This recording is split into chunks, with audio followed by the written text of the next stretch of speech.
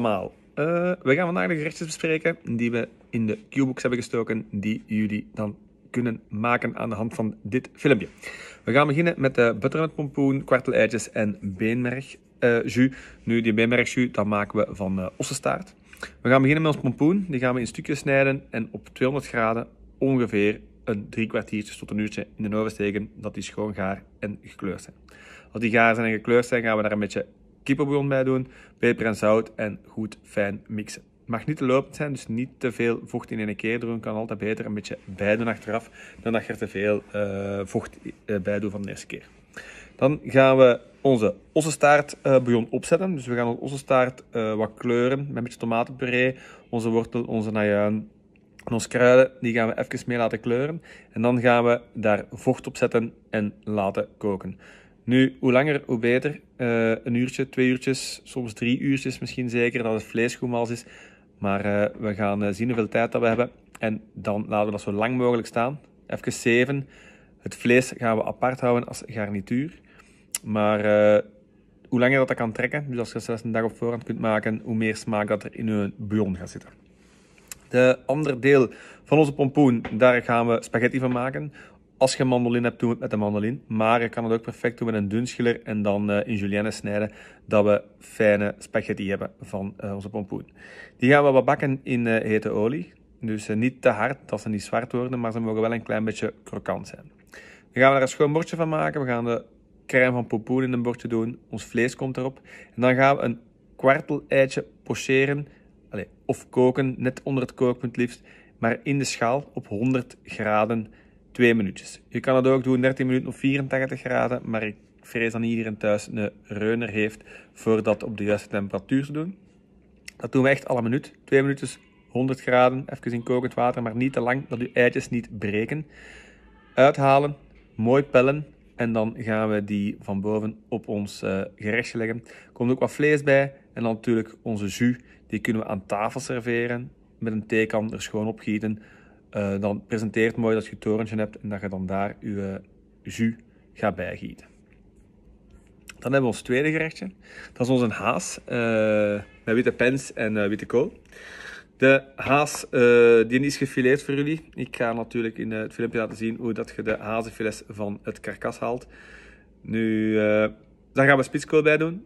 Die spitskool, daar gaan we drie delen van uh, maken. Eén gaan we cannelloni van maken. Een ander deel gaan we julienne van snijden om te bakken. En een deel gaan we ook ja, een crème van uh, maken.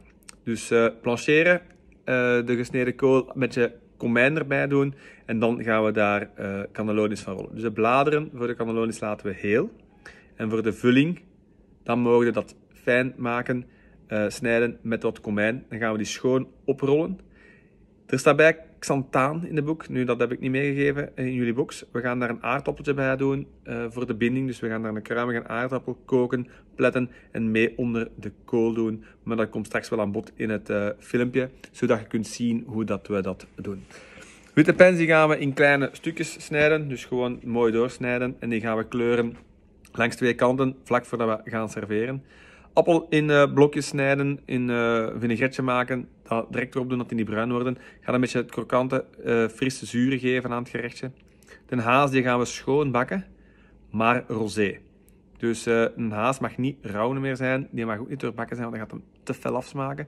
Die gaan we een beetje rosé laten en dan gaan we dat straks eigenlijk alle minuut allemaal presenteren, schoon in één lijn op het bord. Ons calanolietje, onze crème, onze witte pens en onze haas. Oké, dan gaan we aan de slag de hazerig. We gaan de twee bovenste filetjes eraf halen en de twee onderste. Hoe beginnen we daar nu aan? Door hier schoon in het midden, recht op de ruggengraat, langs de ene kant er beginnen af te snijden.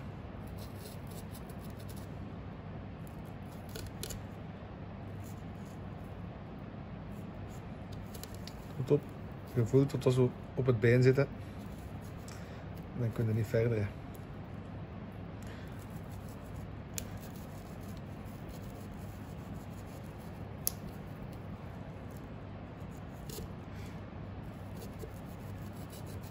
Helemaal tot van achter.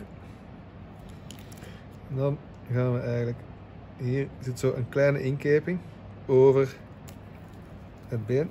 En dan gaan we schoon rond beginnen fileren. Je voelt, dat zijn allemaal de werveltjes. Dan gaat er één voor één schoon rondgaan.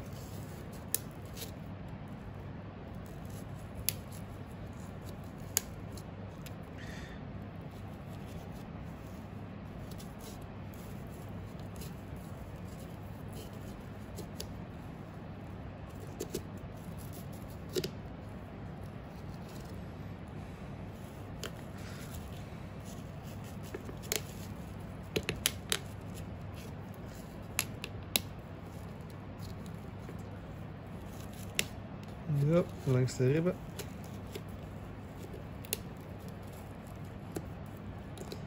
Nu, en deze was een beetje nog bevrozen. Dat maakt het niet gemakkelijker. Het is als je diepvries gebruikt, dat je dat toch even op voorhand uithaalt.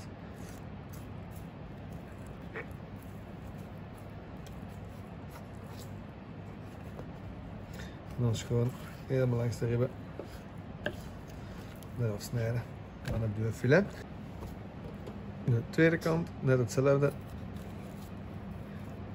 Mooi langs de ruggengraat.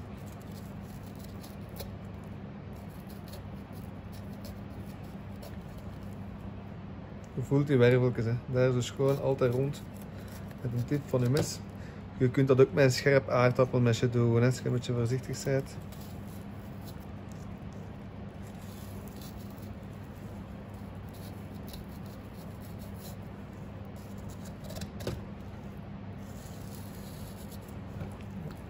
draaien we hem om.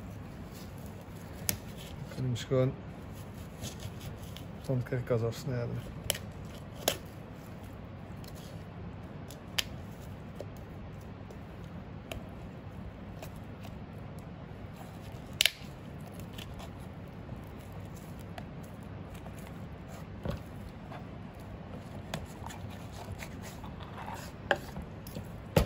Voilà, zo. de nazorg.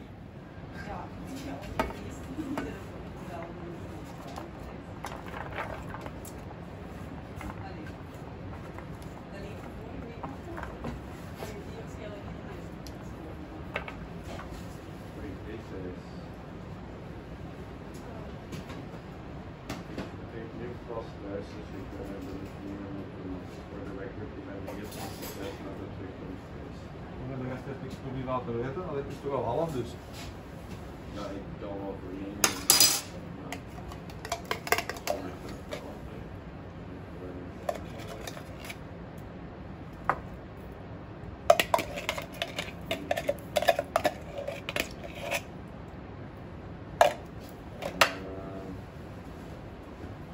Ja, iedereen leest de WhatsApp toch hè? Allee, Ja, natuurlijk.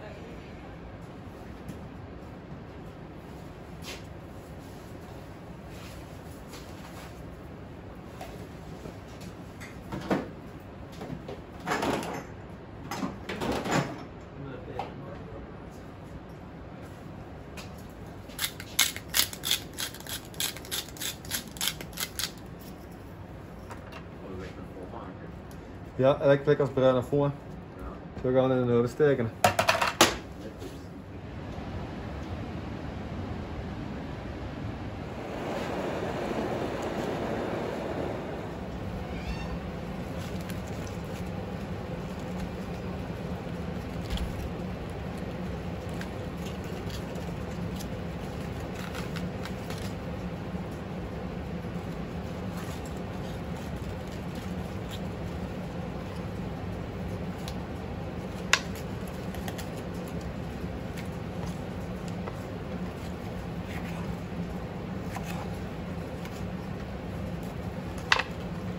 Voor de cannelloni zou ik er twee opzij houden. Die gaan we straks even blancheren. Dan zou ik ongeveer de helft gebruiken voor de vulling te maken. Of iets minder dan de helft, want dan gaan we een aardappeltje bij doen. En dan de andere helft voor eh, de crème bij te doen. Oh ja. Ik zeg, je mag er wel niet meer eh, invriezen. Nee, morgen hè. Maar ik ben thuis. Ik Ah, heb serieus? te doen.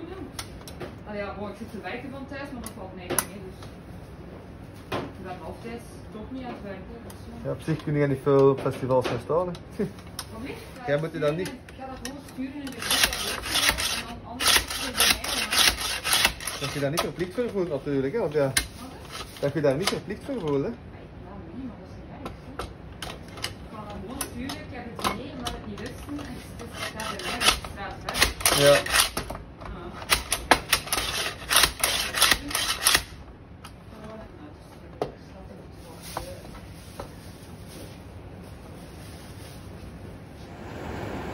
Aardappeltjes voor de crème staan op. Onze bouillon is aan het koken. En dan gaan we even onze spitskool lanceren. De rode blaadjes liggen ook klaar. Die ga ik hier even in de steamer steken, maar die kunnen ook perfect heel even blancheren en dan koud spoelen voor onze cannellolis eh, op te rollen.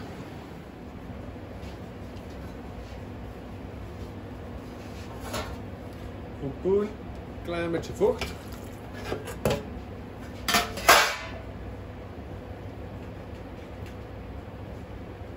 Klein beetje kippenbouillon erin. Je kunt thuis perfect met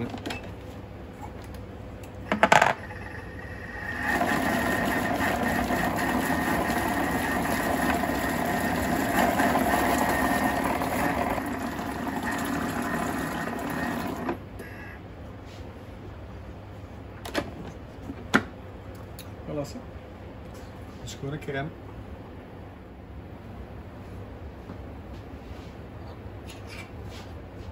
Dan gaan we dan paar stukjes aardappel bij doen. En beter achteraf nog een stukje aardappel bij- erbij doen dan in één keer alles.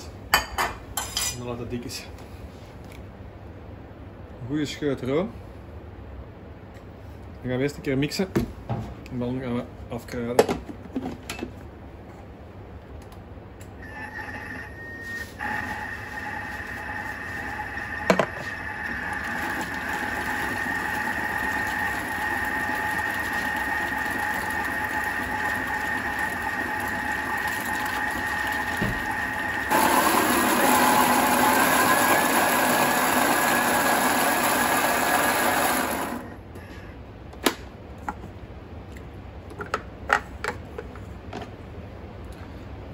Dan hebben we een schone crème van aardappel en spitskool. Die gaan we een beetje afkruiden en dan kunnen we die straks gebruiken.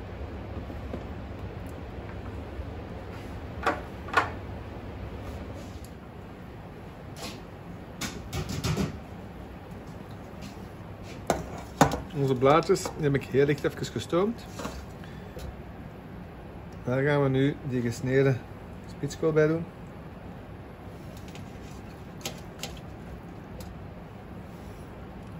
Ook als gewoon.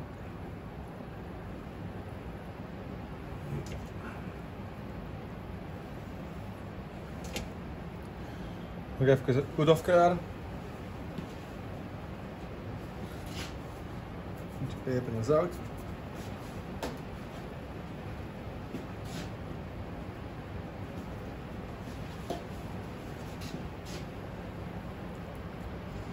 Ja, die is gewoon op rollen.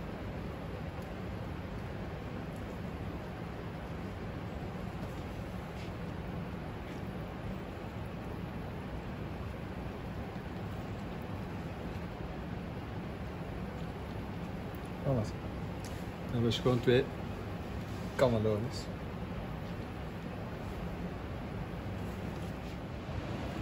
De bouillon die heeft meer dan een uur zijn opgestaan. Nu gaan we het vlees eruit halen.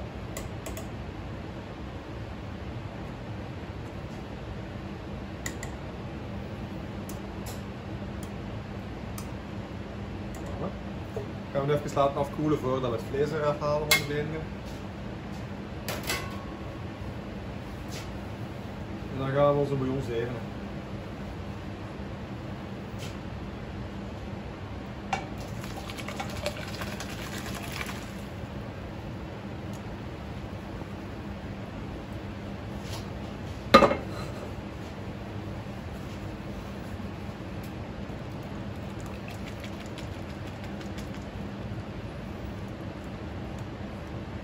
Ah, dat is soepje, ons bouillon is klaar.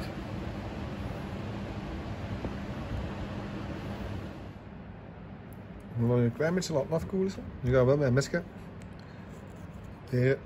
dat vlees er een beetje af te snijden. hè.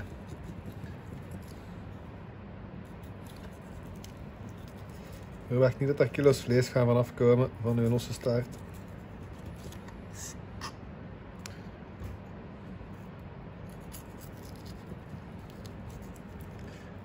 Ja, dat is garnituur met de pompoenen en de soep.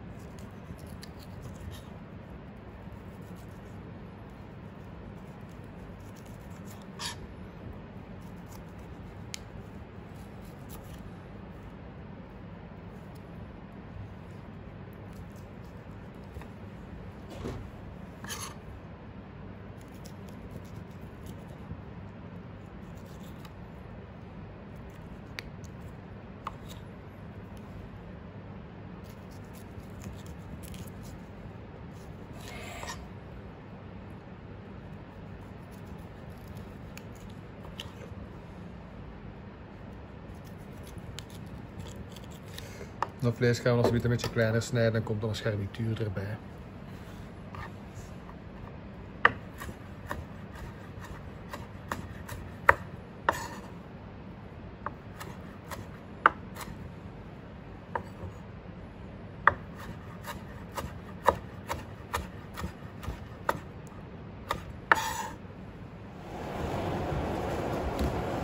Nu gaan we onze pompoen spaghetti bakken.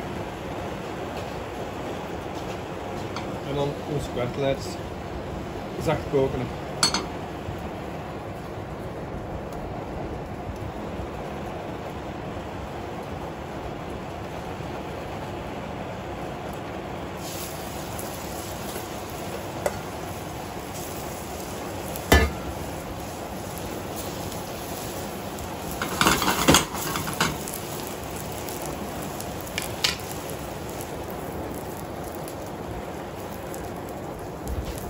Een beetje zout. En een beetje peper.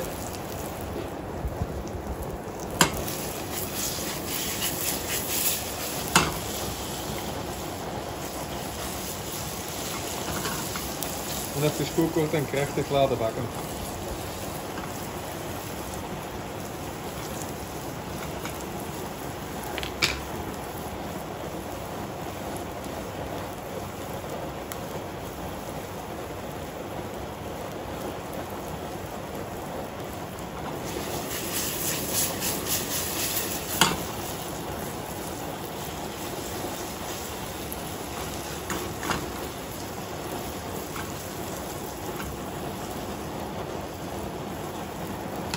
Ondertussen kookt ons water. Voor ons kwartel te pocheren. Heel voorzichtig laten zakken.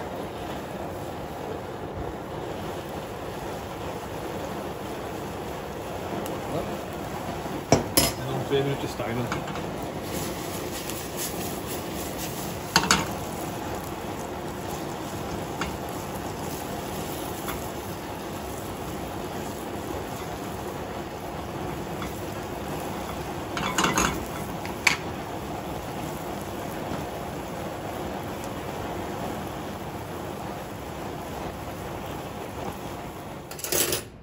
Soepje gaan we dresseren.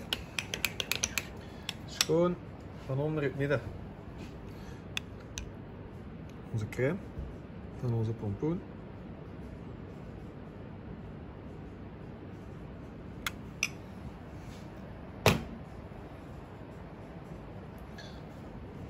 Dan gaan we onze ossenstaart op doen.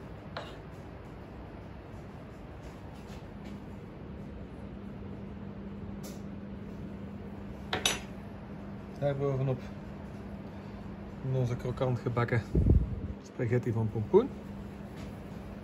En van boven in het nestje gaan we heel mooi een zacht gekookt kwartel-eitje zetten.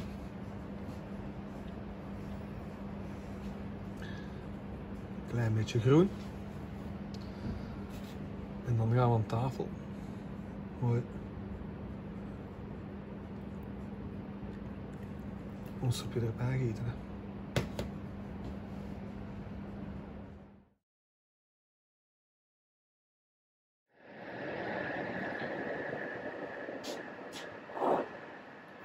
Lekker hazelrus terug en eh stukjes penseer aankleuren. dus gewoon rustig laten gaan. Een hazenrug, daar heb ik het vel eerst nog wel een beetje afgedaan. Eh, het vlies bedoel ik, eraf gehaald en een beetje kruid met peper en zout.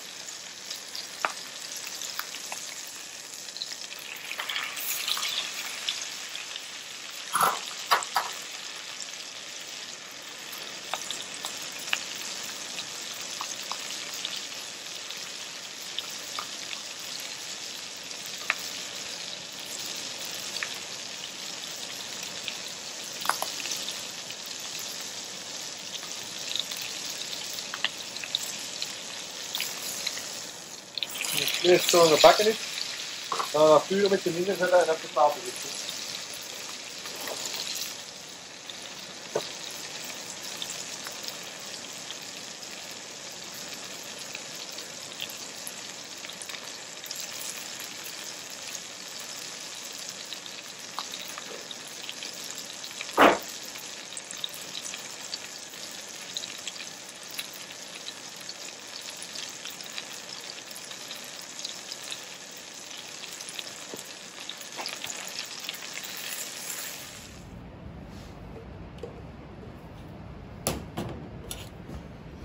beginnen met onze crème van spitskool.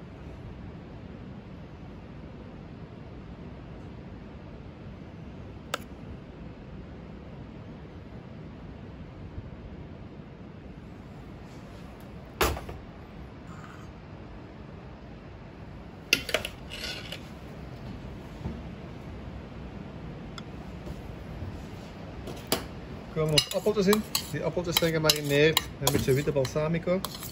Dat is niet te zuur.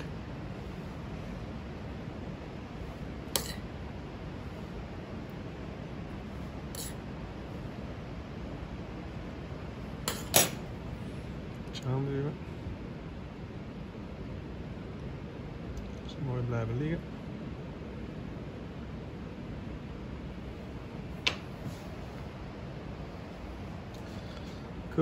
Komen ons cannellonis bij. Nu een klein beetje kant gesneden hebben.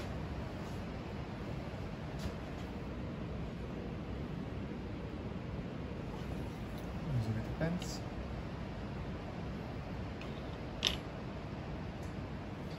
Natuurlijk het belangrijkste.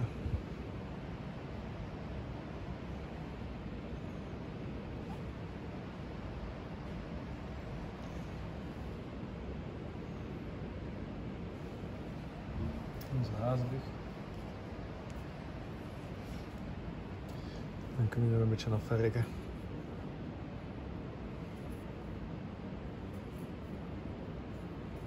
een beetje